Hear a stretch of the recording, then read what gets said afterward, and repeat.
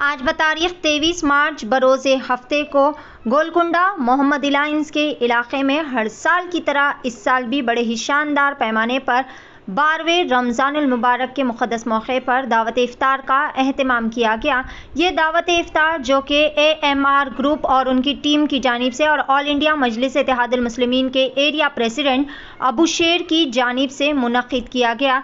यहाँ पर इस शानदार ग्रैंड दावत इफ़ार के मौके पर मेहमान खसूसी के तौर पर मजलिसी सुप्रीमो व Hyderabad M P barrister Asaduddin Owaisi मुतल Karwan M L A Kausar Mohiuddin और ऑल इंडिया मजलिस इतिहादमसलमिन के तमाम ज़िम्मेदारान, कॉरपोरेटर्स और इब्तदाई सदूर मोतमदीन सरगरम कारकुनान भी मौजूद थे।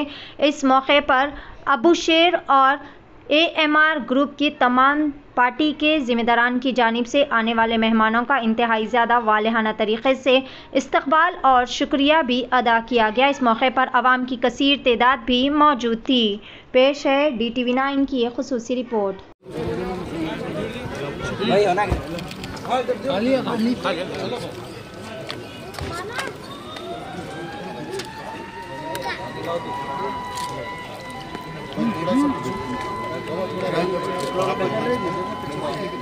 तो मैं तो हाँ राइट को जगह ये बोले तो राइट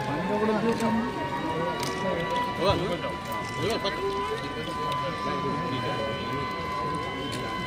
होगा खुले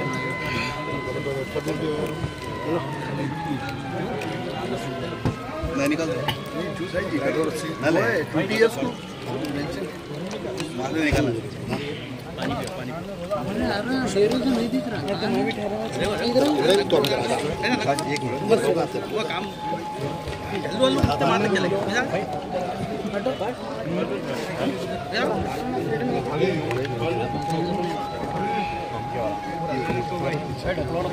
हो गया हो। गया अभी जाना